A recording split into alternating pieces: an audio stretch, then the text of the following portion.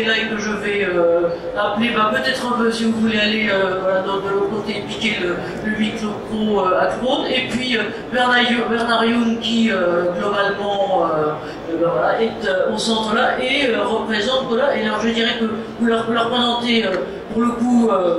On parlait de culture et de culture, euh, d'abord de culture d'entreprise. Eh vous, vous connaissez bien euh, les métiers, les métiers de la route, hein, puisqu'en gros vous êtes euh, dans la, partie euh, nord-est, quelqu'un qui connaît bien l'entreprise, qui a vu l'ensemble des métiers, qui a fait euh, euh, aussi, qui a été animateur de sécurité, j'allais un petit peu sur l'ensemble, et vous êtes, euh, si on peut dire, formateur dédié sur le système euh, qu'on va voir là maintenant. Là maintenant. Alors, première question un petit peu pour vous, et puis si vous voulez bien, je passerai les slides comme ça, vous me direz de passer euh, quand il faut. Euh, euh, bah, vous aussi, euh, euh, comment un peu voilà, c'est est venu à tout ça, et à quel type de besoin, à quel besoin de ces métiers ça correspond. Bernard, c'est à vous. Donc euh, je vais vous parler un petit peu du métier de tireur de bateau. C'est notre jargon. Le tireur de bateau, c'est le compagnon qui euh, met en œuvre les enrobés la chaux. À ce titre, c'est un métier qui est relativement ancien, très ancien. C'est un métier qui est exigeant. Et euh, ce que j'occupe aujourd'hui, c'est un métier qui n'a jamais évolué. Voilà. D'autre part, ce métier demande un grand savoir-faire, une rapidité d'exécution. Pourquoi? Parce que les matériaux enrobés, ce qu'on appelle à, à tort le bitume de l'asphalte, c'est de l'enrobé, c'est un matériau à chaud qui se met en œuvre entre 130 et 150 degrés. Donc il faut le réaliser très vite. Pour qu'on écoute là, c'est trop tard, on ne peut plus rien faire. Donc il y a un, un sacré savoir-faire euh, à avoir. Il faut être précis dans les gestes, très précis, on n'a pas le droit à l'erreur. Le rendu est primordial, c'est-à-dire qu'on recherche de la planéité, de la et de l'esthétique. Euh, deux problèmes ont été, euh, euh, analysés, et, ou plutôt dénichés, à savoir l'assistance à l'effort. On a dit que c'était un métier qui était exigeant, c'est un métier qui est physique, c'est un métier qui se pratique à l'extérieur, donc sommes soumis aux aléas climatiques.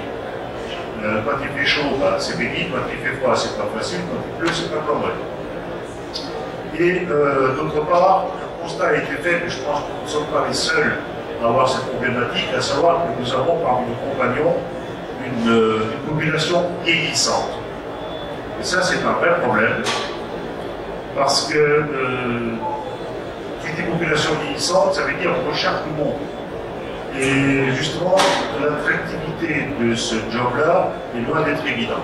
J'en veux pour preuve, euh, l'automne dernier, j'ai participé à un job dating qui a été initié par le Pôle emploi. Nous avions contacté pour trouver des candidats. Pôle emploi a potentiellement euh, trouvé, euh, comme par enchantement, 170 euh, personnels potentiellement possibles.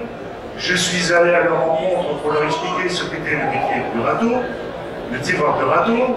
Euh, en cours de présentation, plus de la moitié sont sauvés.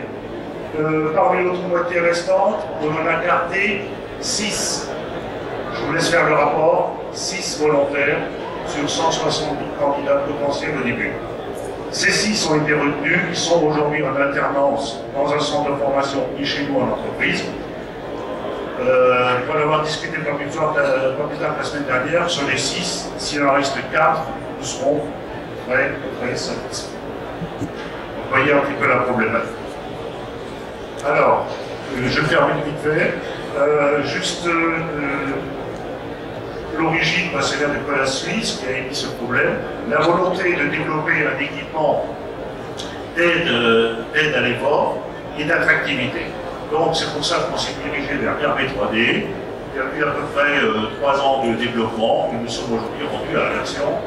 En gros, la version 4.5. hein.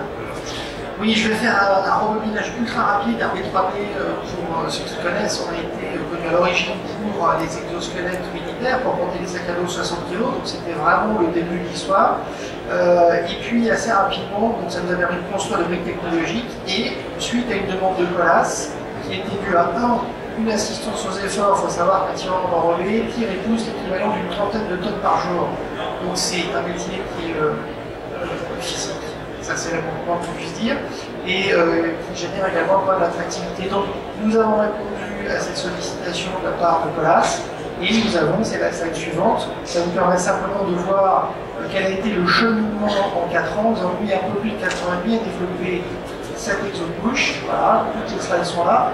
On est parti du râteau, hein, puisque c'est un métier qui n'a pas évolué. On a ensuite construit une machine euh, qui pesait 42 kg. On s'est dit chouette, on va mettre des moteurs partout, beaucoup d'électronique, et on va essayer de faire le mieux possible.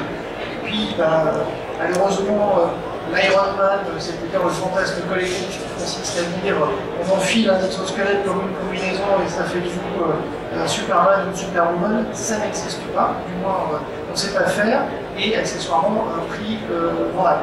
Donc euh, on est passé de 42 kg à 20 kg, 15 kg, 12 kg, la version actuelle fait 8 kg. Nous continuons à travailler sur la réduction du poids puisque l'expérience utilisateur est fondamentale pour les exosquelettes ça a été dit, mais euh, toutes sortes de, Vraiment, les fournisseurs s'adaptent aux, euh, industriels et ils font des produits qui, sont vraiment spécifiques à des cas d'application. On a aussi quand même des, des, équipements qui sont généralistes. Alors on est plutôt sur un cadre spécifique à de voir combien la technologie est en train d'évoluer. Oui, mais c'est important. Alors, euh, Gad veut dire deux mots, mais deux mots. Ça, c'est très important, l'évolution des exosquelettes. Vous êtes parti en fait sur ce Hercule et vous en êtes arrivé euh, euh, à ce que vous avez développé pour un poste de travail. Et je crois que c'est très important d'avoir cette idée. Pour une problématique donnée, de pouvoir co-développer un exosquelette. Moi, c'est vraiment ce que je recherche, c'est ce co-développement pour un poste donné. Ah, ça, c'est très important parce qu'on est dans, dans des industries très spécifiques aussi. Merci de souligner ça. Effectivement, on voit bien que ce co-développement est une chose tout à fait importante. Alors, troisième solution.